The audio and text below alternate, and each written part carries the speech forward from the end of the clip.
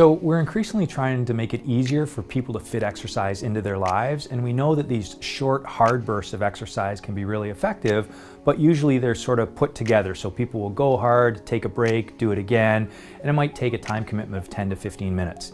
In this study, we wanted to ask, what if people just did those short, hard bursts of exercise, but spread them through the day? And so the notion is exercise snacking, sprinkling in these short, hard bursts of exercise through the day. And what we found was it was still effective to boost fitness, even if there was several hours of recovery in between. So the practical takeaway is someone could take a few flights of stairs uh, before coming to work, on their lunch hour, and as they're leaving the office, and know that that still counts uh, as an effective workout to boost their health and fitness.